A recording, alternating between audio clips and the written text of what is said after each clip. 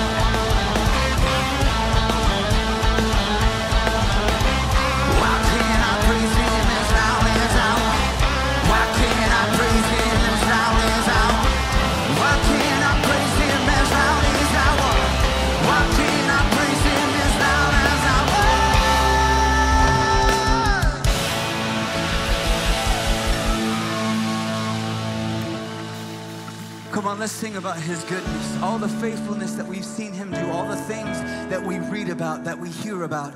All of these stories combined in this one thing that he is faithful. Say, there is no fear, cause I believe. There is no doubt, cause I have seen your faithfulness, my fortress, over and over.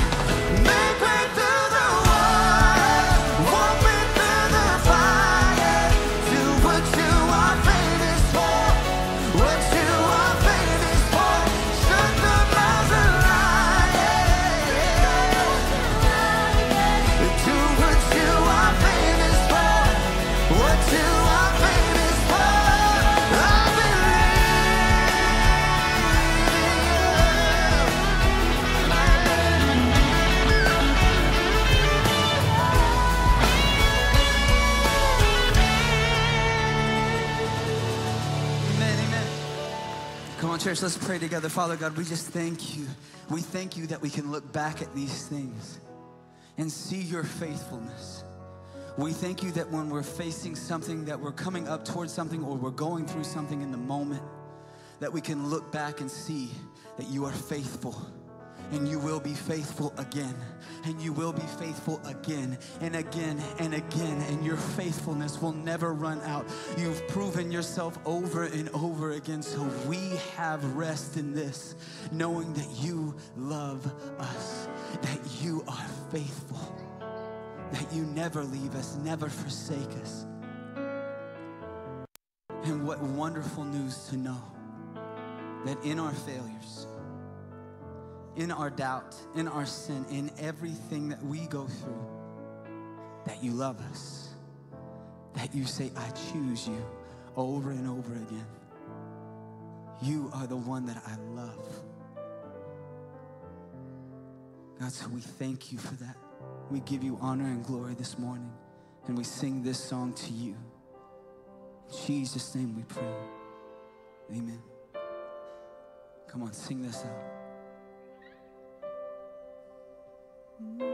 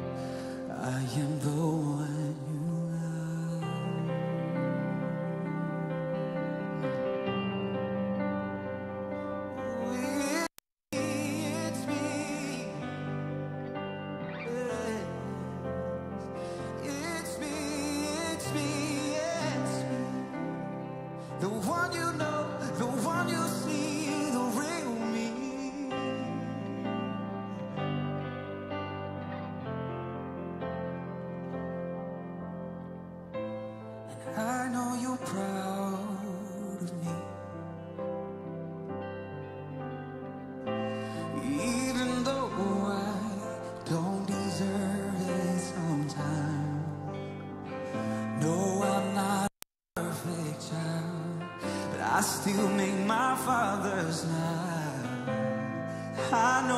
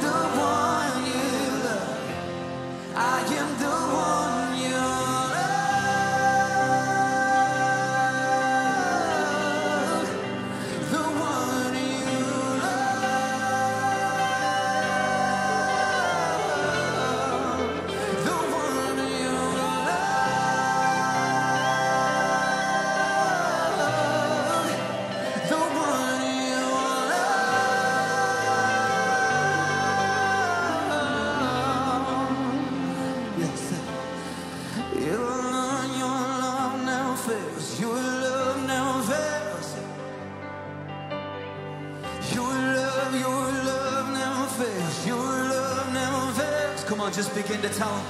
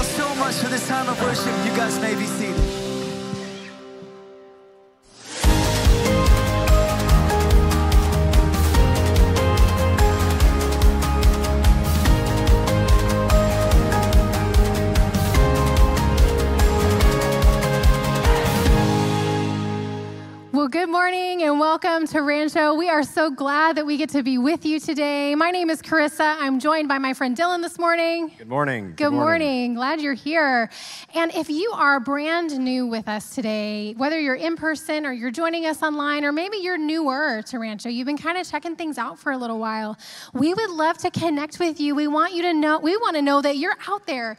And the best way to begin that conversation is just to text the word new to the number 951 379 3795. When you text us, we're going to text you back. We're just going to begin a conversation, answering any questions you may have. Um, and then when you take that text out to our Welcome Center today, we have friendly faces out there that would love to send you home with a gift. Right, Dylan? Yes. Gift. And then we've got some information we want to put in your hands. Just lots of cool stuff that you maybe are already asking about. Um, and so that's available for you today. And then what about all the questions, needs, prayer requests? Anytime you have a question, you can always email us at info at rancho.tv. Yeah, absolutely. Save that so you have easy access to it. And then we want to say a big thank you to our generosity partners today. Our generosity partners are those individuals that partner with us giving financially. That might be a one time gift, that might be a monthly recurring gift. Uh, we cannot do what we do here in our church and our community around the world without you. And I got to have a really cool conversation about a month ago with one of our global ministry partners. Um, their executive director and I jumped on Zoom, and I got to hear about My Refuge House, which is a home for young girls in the Philippines who have been rescued from trafficking. And the work that they are doing is just incredible. And we have had the privilege of partnering with them monthly since 2017. So they are giving these girls access to safety, to therapeutic resources, counseling resources, um, getting them caught up at school. Oftentimes they're several years behind, um, even helping them transition into college life, which is just so cool. And then a new thing I learned that they just started is now they are partnering with siblings and the parents because they're finding that these girls who are at risk, uh, their families are also at risk as well. So if you would like to find out more information about becoming a generosity partner, you can always head to rancho.tv slash giving. All the information can be found there. Now, Dylan, you Yes. are a rock star volunteer in our middle school ministry, right? I try to be. Yes, okay. And I stole you because normally you're over there Yes. in the gym during the 1045 service. Um, now, true story, and I had to get permission from my sixth grade son Landon to share this story. Um, he loves middle school ministry. Yes, he does. Loves it. Now, he also loves baseball, and baseball has pulled him away more often than he would like lately from middle school. And he was telling us that at dinner a few weeks ago. He was like, oh man, like I have another game on a Wednesday night and I have to miss. And he was bummed. I'm bummed too. I miss yeah. him. And so I just said, hey, you know, Landon, what is it about middle school ministry that you enjoy so much? And he thought for a second and he goes, Dylan, Charlie, and Carter. Like three of our incredible middle school volunteers, he just names them. Like, you guys are a big part of the reason why he enjoys being in community here as a sixth grade boy. And so, thank you for the work that you're doing. I'm glad to do it. I love doing it. It's so cool. It's so cool. How long have you been serving in middle school ministry? Four, five years? Yeah. Yeah. Tell me one thing you love about it. The thing I love the most is definitely in the summer when we go to our escape camp. That's the highlight of my summer. But overall, just love working with all volunteers. I mean, tr- uh, just like Landon Carter, Charlie the Great, Bob, Alyssa, Yeah. Tiffany, all of them. They're all so much fun. And getting to play games with the kids, doing the messages, the small groups, just having that community, it's so nice. That's awesome. Now, here at Rancho, our volunteers truly are the heartbeat of all of our ministries, whether it's middle school, high school, kids, ushers, greeters, behind the scenes production. Um, we are so grateful for the people that we get to partner with, just like you. And so, um, did you know it was supposed to rain today? I heard that, but It hasn't rained. I don't know what happened. So we canceled all the things for Sunday Fun Day on Tuesday because it was like supposed to rain all weekend long. We only got rain yesterday, but I think it's good because next Sunday it's going to be sunshine and 78 degrees, and we have three inflatables and cornhole and volleyball and hot dogs and all the fun things, including a fun new surprise we're going to tell everybody about in just a moment. Right? Yes. Okay, Yes. so we're gonna wrap this up and then we're gonna invite Scott up. So, Okay. and, And that's, that's what's, what's going, going on, on at at Rancho. Rancho. All right, let's invite Scott up. So we have this. I this out a little bit. Yes, we have Uh, standards. It has to be perfectly straight. Sorry. Perfectly sorry, straight. It's all good. You were on a time crunch.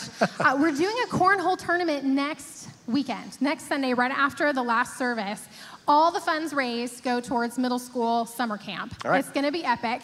And we had a crazy idea this week that you can buy the opportunity to be on Scott's team Oh, wow. or my team I'm sure I go cheap. or Steve's team, or Ryan Beaver's team, or Tiffany's team, or Alex's team. Um, we just want this to be a fun opportunity to connect. And so if you're not already registered to be on a team, you could be on our team. All right. But we thought they might want to know like gift, whose right? Yeah. team they really Okay, want to be so we're on. gonna- So we got to show them what's going on. All right. Now Dylan is like a bonus. So if you like the way he throws, he's already got a, a He's got good technique. But he said he could be bought out. Maybe. Maybe. All right, so this is not the regulation 27 feet, so it's a little disappointing, I'll be honest with you. But uh, all right, let's see what we can do here. No pressure, no pressure, no, No pressure. pressure. He made it first service too. He did, but he missed it in rehearsal. I just Maybe want that was to know intentional. that. I don't know. All right, Dylan, show us what you got. all right, all right. I love the technique. No. Oh, No. all right, Chris, All let's see what you can do. I don't know what side. Now, I you're, should you're, I actually I'm didn't know that. left-handed. Yes, All right. I know. We're special. No pressure. yes, you are. Oh, wow. Good job. That was very, very nice. All right. So whose team are you picking? Ah, wow. That's going to be a, a tough mine. call. Well, Krista and Dylan, thank you. We got a, a great time scheduled next week, so look forward to having you back. Bring a friend. There's uh, food and cornhole and lots of stuff, inflatable stuff for the kids, all the basketball, volleyball, everything's going to be out there. We got a new Gaga pit out there as well, so lots of fun next week. Let's give uh, Dylan and the rest of the middle school volunteers a round of applause. They do such good work for our kiddos. All right, well. You may not know this, but this is the real Holy Week. I don't know if you know a lot about church history and church or all that, but we had Easter two weeks ago. This is the real Holy Week because it is Masters Weekend. It is the Masters. And I will tell you, just I, absolutely God's honest truth. If I wasn't on staff, I'd be at home watching the Masters. I'm being honest. I'm being real. This is the one weekend I obsess on golf. I watch all four days of the tournament. The only tournament all week. I watch all four days. So I don't want to hear any updates. I don't want to hear, did you hear anything? I just want. I'm going to go home after this, and I'm going to get some Mexican food and plop in front of a couch and obsess on every shot of the Masters. Now. Um, this is uh, bittersweet every year because probably 12 years ago, I got a call from a golfing buddy of mine, and he says, Now don't get too excited, but 95% sure we're going to the Masters. And I said, Well, what do you mean we're going to the Masters? I said, Did you get, get lottery to, to attend? No. He says, We are going to play Augusta National two rounds. We're going to play a round, stay a night, and play another round. Now, if you don't know golf, that probably wasn't impressive to say. But it is like sacred ground, sacred. Nobody plays Augusta National. You could play St. Andrews, you could play Pebble Beach, you could play Sawgrass, you can play all the big tournaments and all the big courses. You cannot play this course. The most exclusive course probably on earth. And he says 95% we're getting in. We're taking a member's jet, we're gonna fly into Augusta, and we're gonna play two rounds. He says, somebody backed out of a foursome, I get to invite one person, I pick you but there's a chance this other person might get in. So, two weeks before we were supposed the other person slid back in and he called me for the worst call of my life. And uh, says, I'm sorry, you're bunt. Then, of course, when he was playing the two rounds, he just bombed my phone with about a thousand pictures. And, like, dude, uh, you're no longer my friend. End of discussion. You should have given up your seat and, and give me that spot. No, I wouldn't have done that. But uh, anyway, so it's Masters weekend. Uh, it's also a weekend I'm back. I, you know, got a chance to go to Texas uh, last weekend to marry my sister-in-law. So she got uh, married to a wonderful man, and I'm the cheap uh, pastor. so uh, they, they get a free pastor service from me. So I get to officiate the weddings and the funerals for the Allen family. But it is a great uh, pleasure. And so uh, she just walked up. I just gave away the bride. And shortly after, or no, her dad gave away the bride.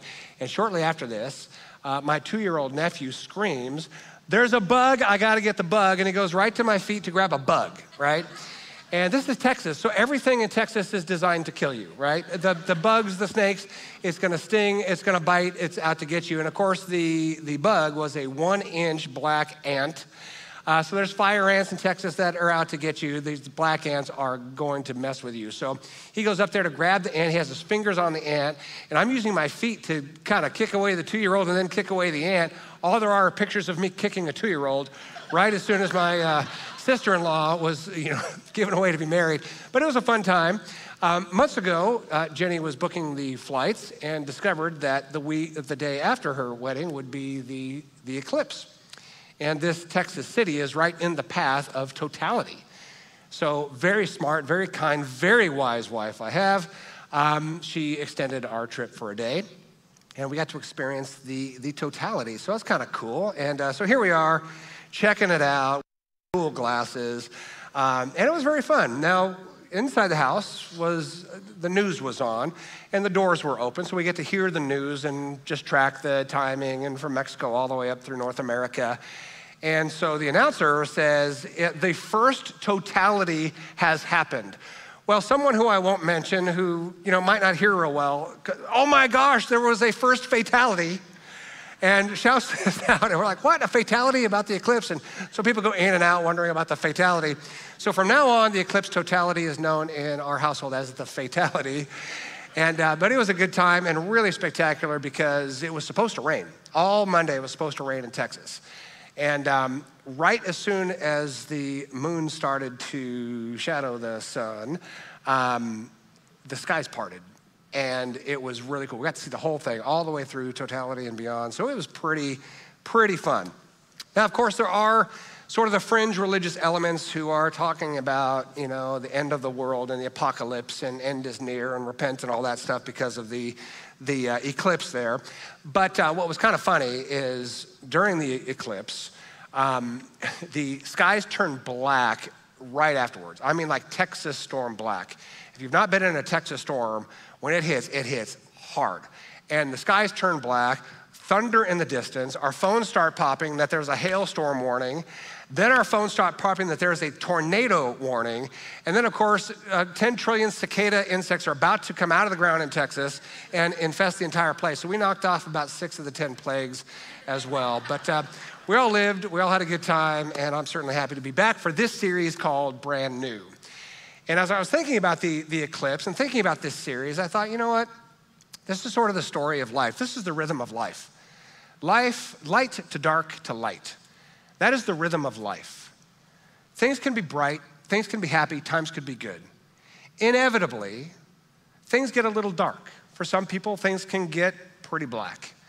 Life can take a turn somebody could do something to us. Circumstances just happen, or maybe we make a mistake. Maybe we fail somehow, and that bright light turns dark. And the question is is there light again? Is there light again? Or is it gonna stay like this? Is it gonna stay this heavy? Is it gonna stay this difficult? Is it gonna stay this dark? So, this series is about hope. That no matter how dark the skies get, there's light emerging believe it, receive it, accept it, and then let's do our part to see the light reemerge. Uh, last week, uh, Carissa led off the series in a wonderful way. This idea of a brand new heart and a brand, brand new mind. For so, so for those of us who might be, you know, sort of trapped in, in difficult emotions, there is a way forward. It may not be super clean all the time or super easy all the time, but there is a way forward to a new heart and a new mind. And today we're going to talk about uh, emerging from failure, emerging from failure. So, this whole idea that light can turn dark, but even in the darkness, it can be light again, it follows a rhythm. And this rhythm is the rhythm of life. It is the rhythm of God's story in our life. And it's the rhythm actually of every story ever told. So, if you're a student of literature or cinema or fiction, you may know that every single story ever told has five predictable plot lines. Every story. You can follow them. So, from now on, every book you read, every movie you watch, you are going to know these are the five plot lines that are predictable in every single story. It all starts with anticipation. There is some hope that something good is going to happen. Every novel, every movie, there's some hope that something good is going to happen. And then the character experiences a little bit of that hope. A little bit of that dream emerges, and they experience some good things. And so there's this sort of hopeful light that emerges early in the story. Then things start taking a turn. There's frustration the dream that you just started grasping starts to fall apart a little bit. And then there's the nightmare, this intractable problem that says it is all collapsing. The skies are absolutely black. There is no hope ahead. That's the nightmare scenario, followed by the conclusion, which is some kind of a resolution to the story. Every story has the same five plot lines without fail, including the greatest cinematic triumph ever produced, Nacho Libre. This church is founded on the value systems of Nacho Libre and the, you know, the, the, the mission of Nacho Libre. And so we want to go through this, right? The five predictable elements of this story begins with anticipation. What if this friar could become a luchador, uh, a, a Mexican wrestler? Starts secretly wrestling, right? The dream, a secret life as a luchador, and he starts to make a little bit of money. Then his friar cloak catches on fire, revealing the luchador costume underneath, and frustration begins. He's caught, he's outed, he wants to be a luchador, a great sin in the mind of the church. And then there's a nightmare. He's out in the wilderness, perhaps to die. There is no hope of him becoming a luchador or becoming a respected friar. And then, of course, there's the resolution. He defeats the region's champion luchador, makes a lot of money, buys the orphan a bus, and the orphan's good foods. And so that is uh, Nacho Libre. Every story ever told, ever told has those five elements, including, in all seriousness, the story of Jesus. Has those five elements. There's the anticipation. Jesus starts his ministry with his baptism and the words of God, This is my beloved Son in whom I am well pleased. And then he goes and he starts to experience the dream of preaching and teaching and performing miracles, and crowds start to gather around Jesus. There's some good things happening. Thousands of people gather around Jesus. He becomes so popular that the religious leaders start to become threatened and they start putting poison pills and rumors, and, and, and, and they're slandering him, and they're starting to, to conspire against him. So, this season of frustration, and his ministry begins to dwindle. Then there's the nightmare of his betrayal by a disciple, his arrest, his torture, and his crucifixion, and all is lost. And then there's Easter Sunday that we celebrated two weeks ago, this resolution, defeating the sin of the world, defeating even death itself, rising from the grave, and his cause continues to this day. It is the human story, it is the divine story, from light to dark to light again. And we see this in the scripture. In Isaiah 43, this great triumphal promise Behold, God says, I'm going to do something new. Now it will spring up. Will you not be aware of it? I will even make a roadway in the wilderness and rivers in the desert. So, whenever we experience the darkness and we experience the failures, either what other people do to us or failures from within, failures that we choose to, to, to do, just bad missteps and mistakes, right? The faults and flaws that are in us just kind of spill out. And we wonder is there hope ahead? Is there forgiveness ahead? Is there a new start ahead? Is there a second chance ahead? We look at the Word of God and we look at the character of God and we say, yes, absolutely, and always. There can be a brand new start from failure, a brand new start from failure. And then we can kind of look at the Bible through that lens. Does the Bible offer new starts from failure? Well, you read in your Bible, start in the Old Testament, you read the creation accounts, there's two of them, and you go, okay, that's really cool. Turn the page, and immediately there's failure, right? There's these five origin stories. Some take them as literal, some take them as more figurative, but you got the story of Adam and Eve. And what do they do? Immediately, God says, don't touch that tree, and they touch that tree. Just the way it goes, failure. And there's consequences to that failure. But that, then God gives them a second chance. And then they have children, Cain and Abel, and Cain murders his brother Abel. This is page three of the Bible. Cain murders his brother Abel. And there are significant and serious consequences but God even gives him a second chance. Then the world, through the story of Noah and the ark, the world carries the consequence of its violent choices. The world choose, chooses violence, particularly violence against women during the time of Noah, and God says, I've had it, and there are huge consequences. But then God gives a second chance. And then you turn the page and you see the story of the Tower of Babel, right? This is when the world says, We want power. We want the power of God Himself. So they unify and build this tower, and there are consequences to that. But then God gives them a second chance. Then you turn the page of the Bible and you get to Abraham. And he's the father of, of Israel and the father of Judaism, and even in respects, the father of Christianity itself. Uh, Islam claims Abraham as a father as well. So here's this great father of the monotheistic religions. He fails miserably. God promises him a child, and Abraham says, Well, I'll just have a child with my mistress. Not a good idea, right? He deals with the consequence of that, but then God gives him a second chance. Then you have Isaac. This is the child of promise. He has almost no interest in following God, basically abandons the faith, is a terrible, terrible father, and yet he's considered one of the patriarchs. And then he has a son, Jacob. Jacob fails by deceiving his brother and deceiving his father to steal a birthright. This is a family shame, a shame to the name, a shame to the tribes, a shame to the world. Yet God is known as the God of Abraham, Isaac, and Jacob. Three people with almost nothing but documented failures in the Bible, right? They're the, they're the fathers, they're the patriarchs of this faith that we still practice today. And God says, I am proud to be the God of Abraham, Isaac, and Jacob, three people who have fail, failed so much, but I've given them grace and I've given them a second chance. Then again, you turn the Bible. You have Moses. Here you have the people of Israel in captivity, in slavery to Egypt, and God calls out a deliverer, Moses. Well, he is not a perfect man. He murdered an Egyptian and ran away in the wilderness for decades. But God gives him a second chance. Even though there's consequences, he gives him a second chance. Then you have the nation of Israel freed from Egypt. By God's miraculous grace, they brought the superpower Egypt to their knees, and then Egypt releases Israel by the hand of God immediately. They build a golden calf, worship this idol, and there's incredible consequences. Yet God gives them a second chance. And then over the course of the Old Testament, page after page after page, the nation of Israel is failing. The kings of Israel are failing. At times, even the prophets of Israel are failing. The priests of Israel are failing. Time and time again, the Bible is so open and so honest and so real about human failures. And every time there's consequences, but every time there's grace, every time there's forgiveness, and every time there's a second chance, third chance, or fourth chance. So here's what we see out of the scripture Old Testament and New Testament so honest about the failures of men and women who are trying, but sometimes fail miserably. Deal with the consequences, but then God's grace just pours out. God gives second chances, third chances, fourth chances, fifth chances, and more with the invitation for brand new starts.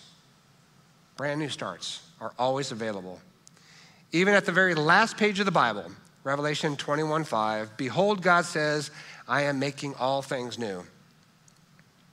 God says, I'm not going to stop making things new. I'm not going to stop giving my forgiveness. I'm not going to stop giving grace. I'm not going to stop giving second, third, fourth, fifth chances and more. I'm not going to stop making all things new. It doesn't matter how much or how badly you fail, there will be grace, there will be forgiveness, there will be another chance. That is good, good news. Here's sort of the broader principle, right? God hates to see us hurt ourselves and others. Let's just kind of call that out. God is a heavenly father, and any mother or any father looking upon their children would hate to see us hurt ourselves and hate to see us hurt others. Any parent whose child is hurting themselves, it grieves you. Any parent whose siblings are at each other's throats grieves a parent. And so let's just call it God hates to see us hurt ourselves and others by the choices we make. It grieves him as a father. Yet, he loves to forgive and he loves to give us another chance. Again, like any perfect parent, you've hurt yourself, there's forgiveness and another chance. You've hurt each other, there's forgiveness and another chance. Now, there's some consequences along the way. There's consequences to our failures. But in the eyes of God, there's always forgiveness and always another chance. Let's take a look at Jeremiah 31. I love this passage. Now, Jeremiah 31 is written in the, in the face of the failures of the nation of Israel, as documented in the Old Testament. They have failed so badly that the entire nation has been taken over by foreign countries. They have betrayed God, they've betrayed every good thing, they've become weak as a nation, vulnerable to attack, and the nations have attacked. And here's what God says in Jeremiah 31 I am as likely to reject my people Israel as I am to abolish the laws of nature. What's God saying? I will never abandon my people. I will never abandon my children. It doesn't matter what they do, doesn't matter how much they have failed, I'm never going to abandon them. This is what the Lord says. Just as the heavens cannot be measured and the foundations of the earth cannot be explored, so I will not consider casting them away for the evil they have done. I, the Lord, have spoken. Now, when the Bible says, I, the Lord, have spoken, this is as serious as it gets because God says, My word is always true. I am always faithful to my word. I never abandon my promise. And God says, No matter how much my people have failed, and read the Old Testament, it's spectacular failures. No matter how much they have failed, I will never cast them out. I will never abandon them, no matter the evil they have done. And we could translate that to our own lives. No matter what we have done, no matter the mistakes we have made, no matter the failures that we have, you know, maybe, um, you know, enacted against God, against others to hurt the world around us, God says, I will never reject you. God says, I will never cast you away. I will always forgive you, and I will always give you the chance of a new start. That is the promise of God. I'll never reject you, never cast you away, always forgive you, and always give you a new start. That's pretty comforting. So let me ask you where have you failed? How might you have failed? I'd like you to stand up right now and t- no. but you know where you have failed. And some of you are like, I have failed remarkably.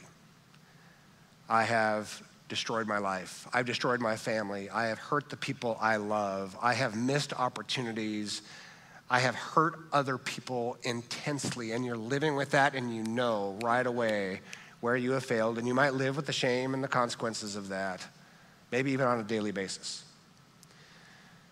For some of us, the failure may not be spectacular, but there are mistakes and missteps and regrets that you have, and it may not weigh you down daily, but if you're like me, sometimes I think of something I said that was careless, something I did that might have been hurtful uh, even something unintentional that I know caused another person pain, or I didn't do something that would have helped another person. I've got these little regrets that are spinning around in my head, and every once in a while they pop to the surface. And when those regrets pop to my attention, and it could be from decades ago, my whole chest just heats up, and I'm like, oh, I wish I wouldn't have done that. I wish I wouldn't have said that, or I wish I would have done, done that better these consequences can just be internal and in our, uh, in our brains. I just wish I would have done better in that moment. So, whether our failures are spectacular in public or whether they are more personal and private, we all live with the reality that we have failed or that we have regrets. What do you regret? Maybe you could have been a better spouse, a better parent.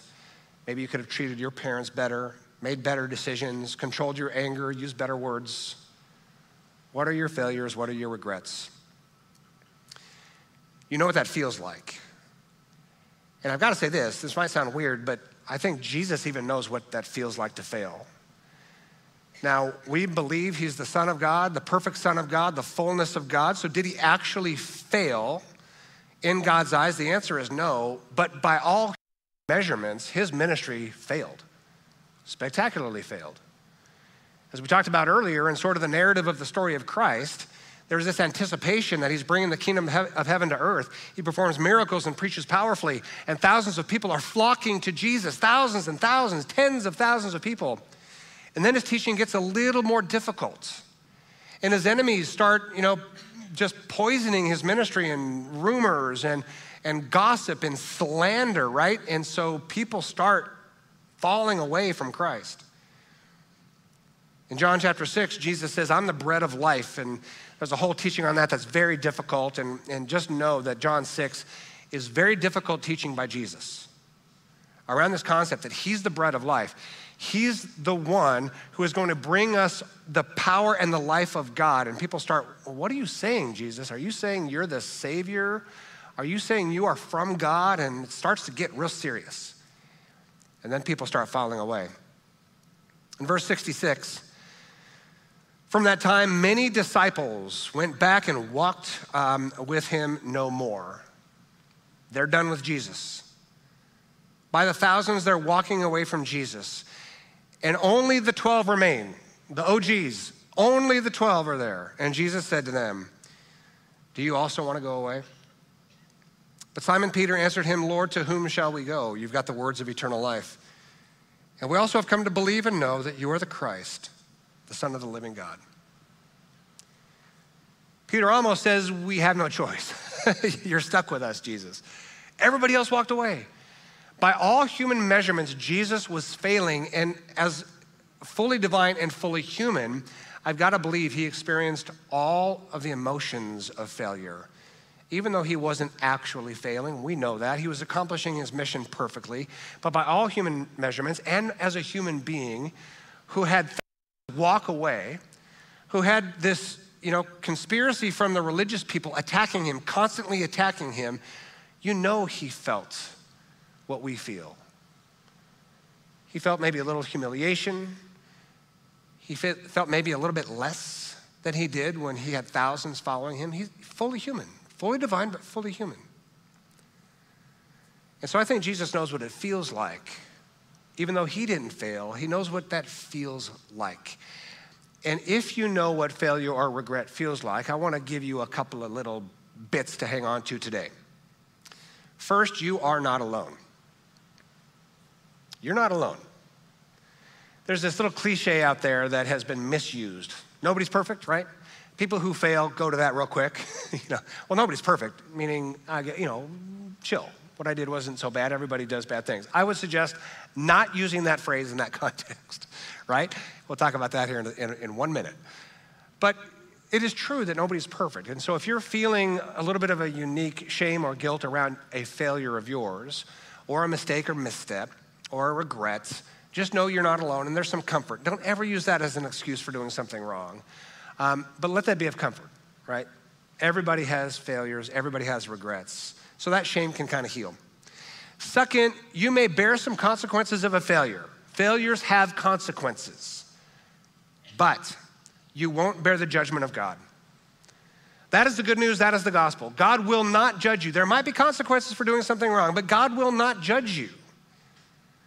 And, and that's something that's you know, wonderful to know. There's a difference between consequences and judgment. Consequences are the natural things that happen in the face of failure.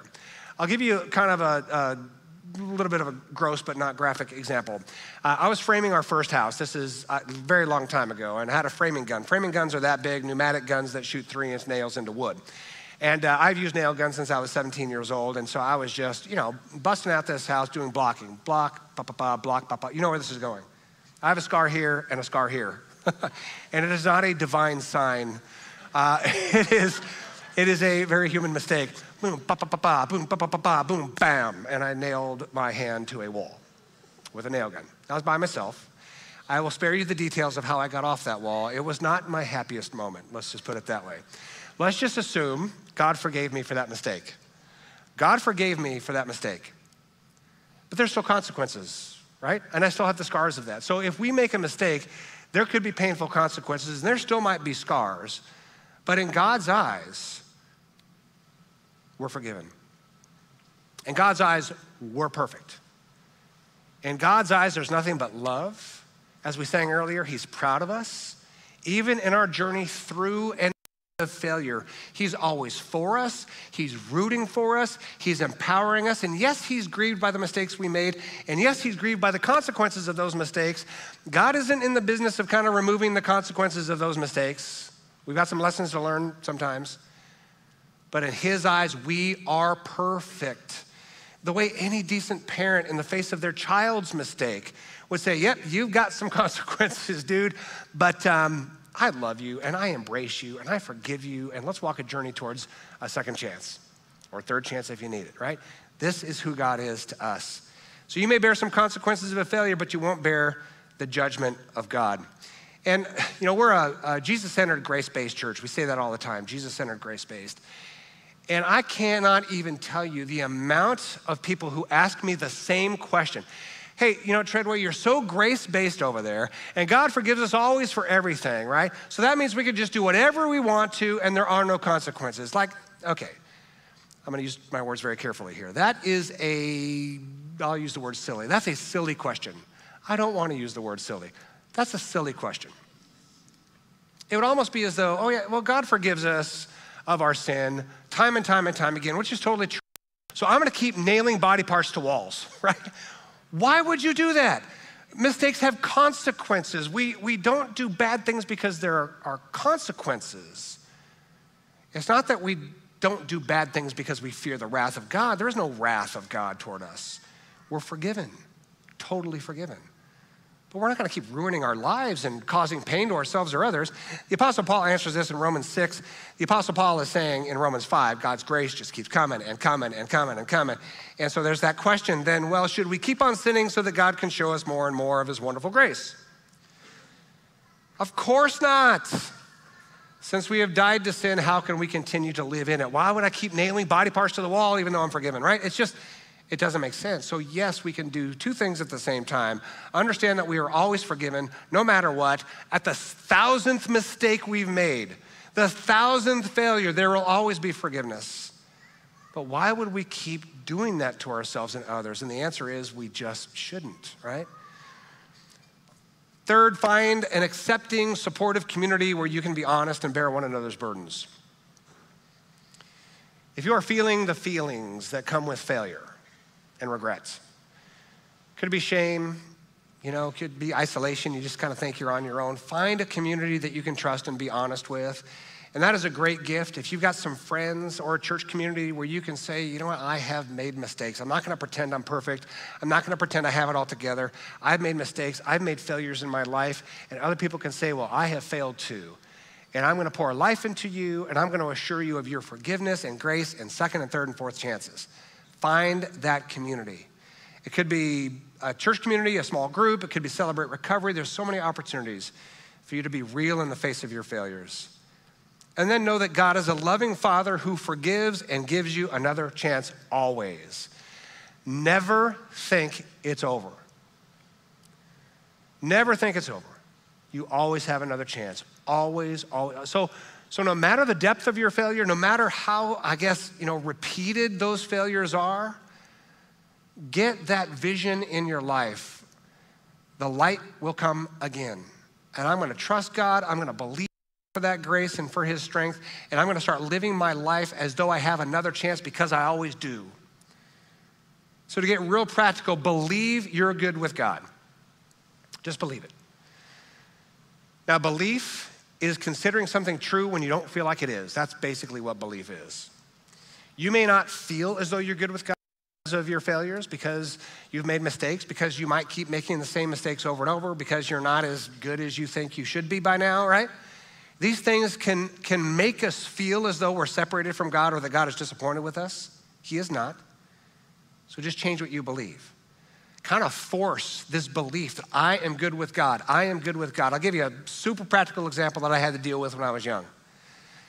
When I was young, I would, I would start to pray and I'd think to myself and feel, why am I praying? Because God just is disappointed with me.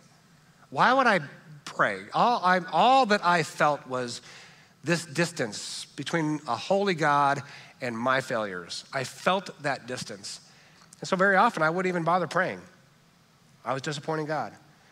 I had to push faith into that to say, I believe I'm forgiven. I believe God always gives another chance. I believe that God is a father who, yes, doesn't like it when, you know, I hurt myself or others, but loves me and is proud of me and always forgives. Believe you're good with God. Try to get in the habit of saying, I'm sorry. This is difficult for some people to say I'm sorry. For some people, I think it's like genetically impossible for them to say I'm sorry. There's just some people that, why can't you just say those words? Well, this person, this person, this, just get in the habit. of saying I'm sorry. Um, back in my uh, younger days, and I mean younger adult days, not younger adult days, I, there was a lot of pride that prevented me from saying I'm sorry.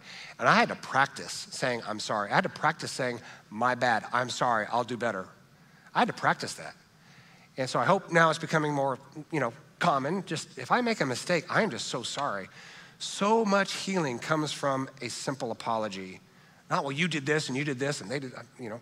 Humbly accept the consequences.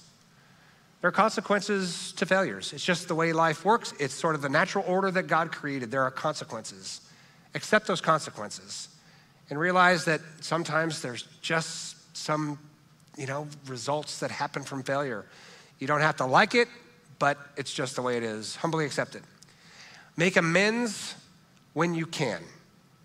Make amends when you can. Talked to a wonderful woman after last service, and, and she admitted she had failed a friend, and that friend is kind of distant, and so she's struggling to make amends. It's hard. Just keep it up. Keep it up. Make amends where you can. Try to make the wrong right. It's not just I'm sorry. I'm sorry is meaningful, but I'm going to try to make this right now. And then rebuild good habits over time. Rebuild good habits over time. Those dark days can result over time in light. That shadow moves and light emerges. That's by God's grace and by God's strength, but it's also by us putting in the work of building better habits, good habits. You know, kind of taming our anger, taming our words, right? Just making better choices. Try to be a little more connected with God so the values of Jesus start to become your values a little more. Get the help you need if there's an addiction. Just these decisions, right? To, to build a better, brighter life. I love 2 Corinthians 5:17. Get this, it's just this beautiful promise. Anyone who belongs to Christ has become a new person. The old life is gone, a new life, get this, has begun. There's a very specific Greek structure there.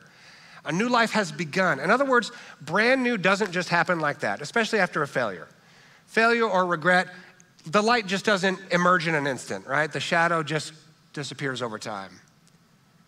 And light emerges over time. It's a journey. Sometimes it's complicated, but it's a journey. But never lose hope, even in the midst of your own failure or in the failures of others, that life will emerge. A new life has begun. I'm going to close out in a, in a story here. We're going to sing a song together. This church has been around for 54 years. There have been two pastors, two lead pastors in those 54 years. There's been a bunch of other pastors who have served this church very, very well over five and a half decades. Over that period of 54 years, there have been three pastors who have made very serious mistakes, failures. And when a pastor fail, fails in a big way, it becomes, you know, unfortunately, a little bit public. And there's a lot there. A lot of trust is broken, a lot of emotions happen. Over 54 years, Rancho Church has had three pastors fail fairly publicly. One of those pastors, uh, very early on, this is like in the 70s, uh, just left, was caught, and disappeared. Left the church, left his family, left the community, like gone. Um, that was a light that turned dark, and there just wasn't light that emerged. He didn't handle that failure, you know, great. There's another pastor, and this was during early in my uh, tenure here, uh, failed, was caught, and immediately blamed everybody. I mean, blamed everybody and blamed everything, blamed the air he breathed and everybody around him. And, and there was an exit there that was not very fun. That darkness kind of stayed dark and light didn't emerge. It just wasn't handled well by him. The third pastor, this was about 25 years ago, he has my lifelong admiration. He has my lifelong admiration. He did fail very publicly, and it was very tough. I was not the lead pastor at the time. I was a young minister, and I wanted his head on a platter. I'm just being honest with you. I was not gracious. I had not had my grace awakening. I felt personally betrayed by him and the pain that that caused his family and the church. I was furious. I considered him a friend and a partner and a colleague, and for him to fail like that, I mean, I was furious. And I just wanted him gone. The lead pastor at the time, fortunately, was full of grace and said, Hey, we're not gonna, the way he put it, we're not gonna shoot our wounded. And I thought to myself, Well, he wounded himself. so, well, we walked through this whole deal, and he led the way. I'm here on the sidelines judging hard. He led the way towards grace. Some elders got involved and walked with this gentleman and his family for years. And it was the most beautiful story of restoration I have ever experienced. I experienced it on the sideline, judging from the sideline. Then I kind of got in the mix, became the lead pastor, had a good grace awakening, and he and his family it was one of the first stories where the grace of God got a chance to work in a way that I was privileged to experience. And one of the first things I got to do as a new lead pastor, and it was on this very stage, lay hands on this gentleman and ordain him back into ministry. Full restoration. It took years, I think four years. Very deliberate, very loving, very grace based process of restoring his family and restoring trust it was one of the most beautiful things I've ever had the privilege of doing. And that is the story of God. Through failure and the darkness of failure, light can emerge. And so that's your story. If you've experienced failure and you're bearing the weight of failure, let that light emerge. God loves you, He's proud of you. There's nothing between you and Him. As you deal with maybe the consequences, be surrounded by love and grace and not a judgmental, you know, group, but a, a group that loves and embraces and accepts and walks with you toward healing ahead and light ahead. Uh, we're going to close in a song that is just this simple declaration of this truth. It's called One Thing Remains. And so, uh, Evan, our choices are all, all over the place. Sometimes we do great things, sometimes we fail. Um, the judgment of others is all over the place. The consequences of failure is all over the place. But one thing remains, and that is God's grace and love in our lives. That's right. And this song was actually written. This is a, um, a kind of a remake of this song. Uh, Israel got a hold of it, and as he does, did his thing. He does things. Uh, and so, uh, but the original version of this song, this was written by somebody who was going through a massive failure and it was explained as there's a wall it was like a wall there's no way forward but the one thing that he could continue to focus on was god's love for him was never ending it was right there and it wasn't on the other side of the wall yeah. it was walking with him to help him get through uh, this moment. So, so the, the song the is like God's love never fails and That's He right. never gives up on us. So That's it's right. kind of a fun song as well. There's a little reggae in the middle there. so let's all stand and uh, let's close out with this great declaration. Let's do it.